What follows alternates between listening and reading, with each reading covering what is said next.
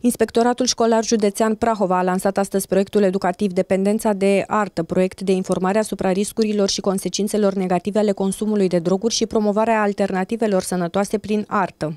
Uh, este un uh, proiect pe tema uh, luptei cu drogurile.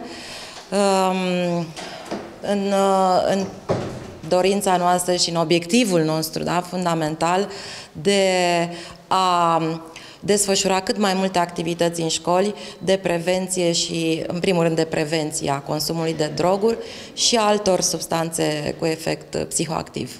Ne dorim foarte mult prevenția și consumul de droguri în județul Prahova să, uh, să-l facem, uh, această prevenție să devină un obicei, uh, iar împreună cu profesorii, cu dascălii din învățământul prahovean, să ajungem acolo unde ne dorim, adică fără consum de droguri în județul Prahova.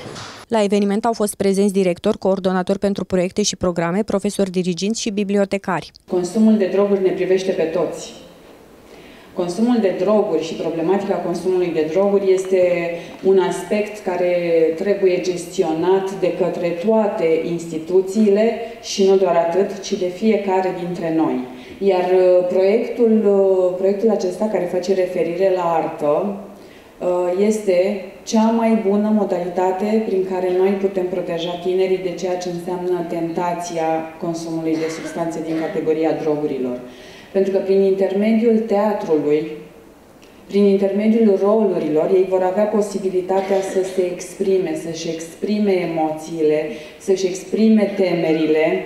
Dacă acasă sau în fața dumneavoastră nu îndrăznesc să spună ce simt, să spună ce vor, să spună ce-i doare, la teatru, la cursurile de act al actorului, copiii chiar au curaj să se deschidă. Și în felul acesta aflu um, care e durerea lor.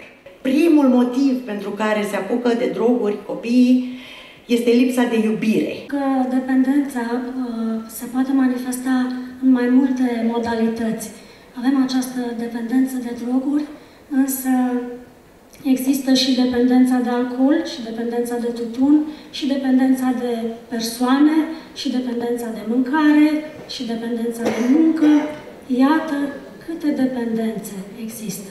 Și toate acestea se întâmplă pentru că undeva, în istoria de viață a copilului sau a adolescentului, există o, o ruptură. O situație de viață care vine și uh, cumva rupe uh, personalitatea copilului. Proiectul se înscrie în activitățile Planului Comun de Acțiune pentru prevenirea și combaterea consumului de droguri și alte substanțe cu efect psihoactiv risc major la adresa siguranței individuale și naționale, implementat la nivelul județului Prahova.